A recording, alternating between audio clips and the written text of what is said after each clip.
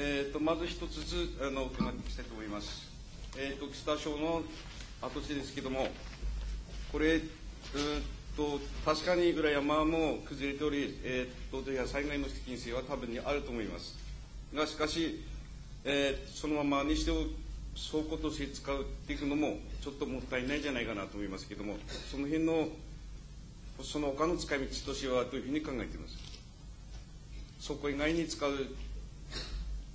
そこだけで使ってあとは使い道はないんでしょうか？お願いします。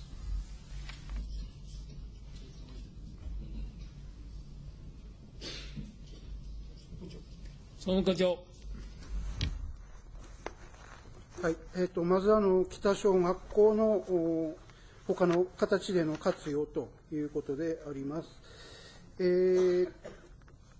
まずあの現在はあの倉庫として利用しているということで、あの人が常駐しない形での利用をしております。で先ほどあの、えー、町長の方からも答弁がありましたとおり、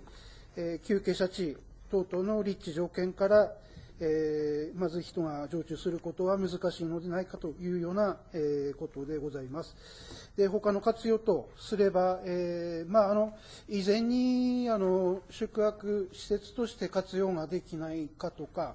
あと、福祉施設として使用したいという、あの、まあ、事業者の方から声が、えー、お問い合わせが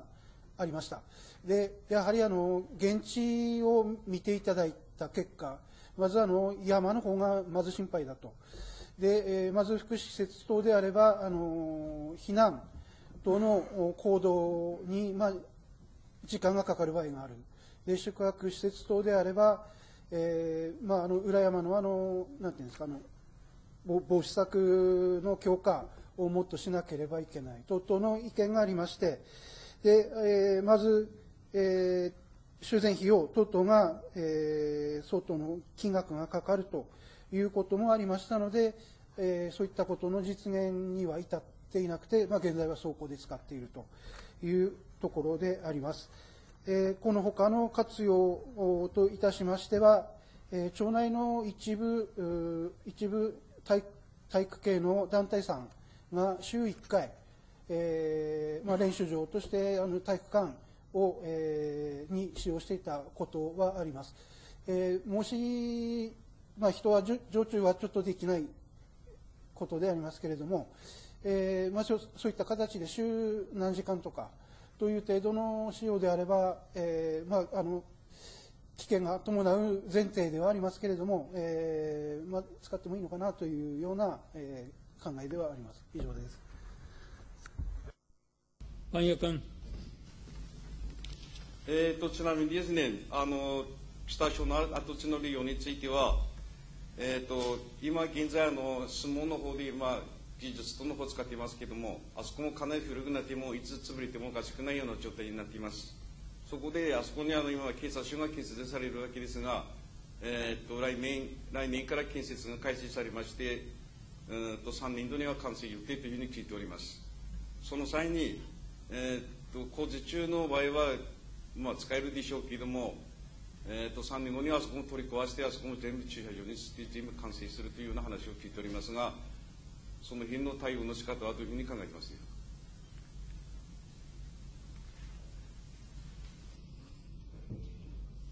総務課長。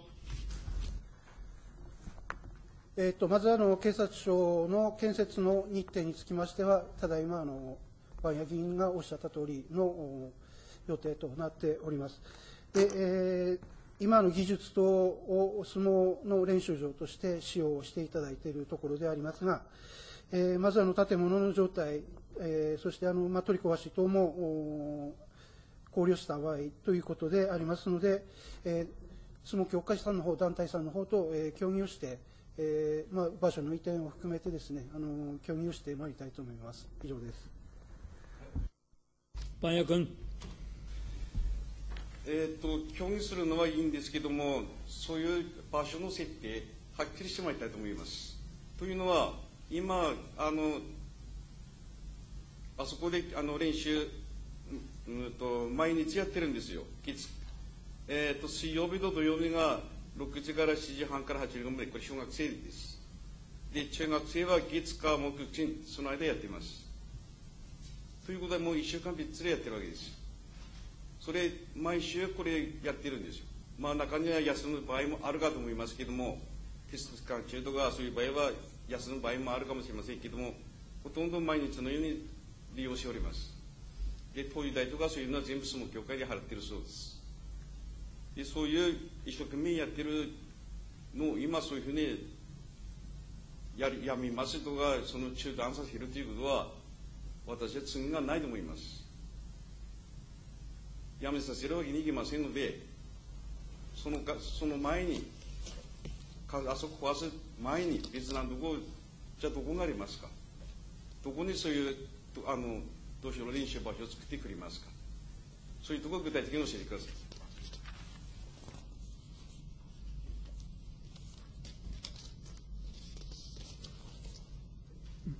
総務課長。えー、具体的な場所の案ということですが、現在のところあの、先ほど言いました北小の跡地をまずはあの考えております。ただあの土砂災害というのがやはり気になるところでありますので、そこは、えー、教会さんの方と、えー、相談しながらということになると思います。でもう一箇所の候補地として現在あの、えー、想定される場所といたしましては、あの体体育館の向かいのあの農業会館の建物がございます。で向かって左側にあの元普及所が入ってた、えー、事務室がありますので、そこの場所がどうかなというところで考えております。以上です。万谷君。で確かにその北署の場合は土砂災害とかそういう危険性があるため、まあ、練習している間に、まあ、崩れる可能性もないとも限りませんので、まあ、そこは避けたとしても、まあ、農業会館の方それいつもの完成予定するつもりですか？時間ありませんよあの今、警察署は年度に着工して3年 ,3 年に完成ですよ。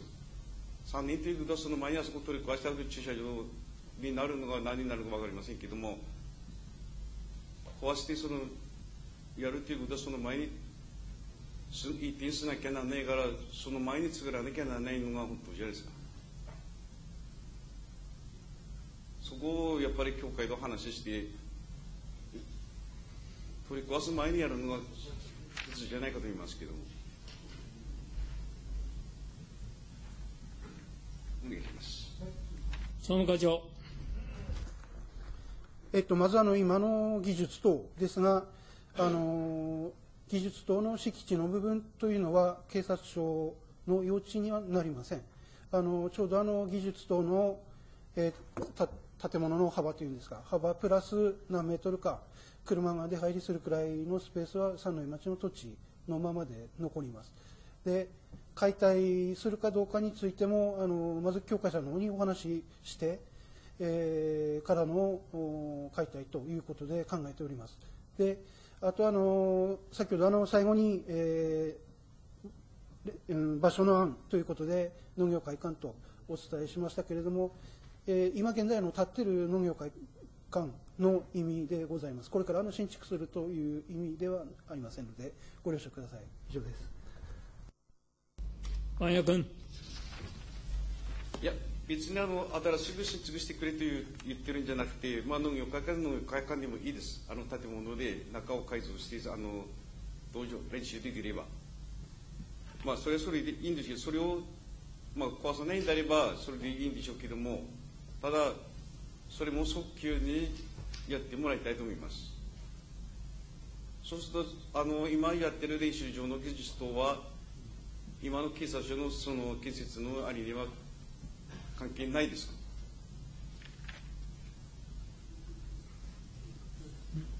町長。えー、あのお答えを申し上げます。えー、現在あの計画をされている警察署の建て替えに関しては、あ直接その敷地と重なるというような状況にはなっておりません。まあ、ただあ建建物が新たに県県県の県営の施設がまずそこにあっていろんな扱い勝手等を考えていきますと今後その相撲の練習相撲等の練習場所としてのものについては十分配慮した形で、考えていかなければならないものというふうに考えています。でそこの中で、えこれだけはなんとかあ実現をしなきゃならないなと思っていますのは、えー、今も毎日練習をされているんですが聞くところによりますとシャワー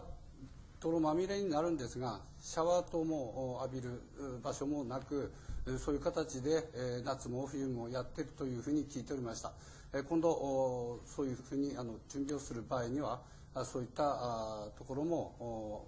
適切にできるような形では最低限必要な設備ではないかなというふうに考えてございます。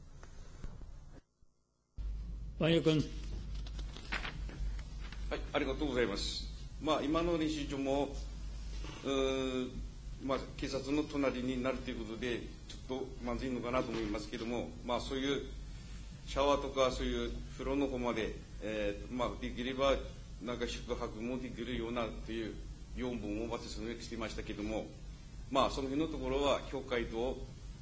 あの行政側と話し合っていただいていい方向で持っていければそういうふうに思いますのでよろしくお願いいたします。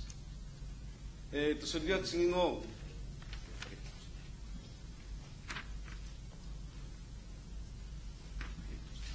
次のあの中学校の跡地ですけどもあそこには、うんと先ほど言ってましたけどもなんかよくちょっと理解ができませんでしたのでもう一度お願いいたします。建設課長はいえー、ただいまの三戸中学校土地の利用ということで、えー、もう一度お知らせします。今現在の跡地にはですね、えー、工事の残土等を置いております。で、その後ですね、えー、まあ何かに使いたいなということで、現在の、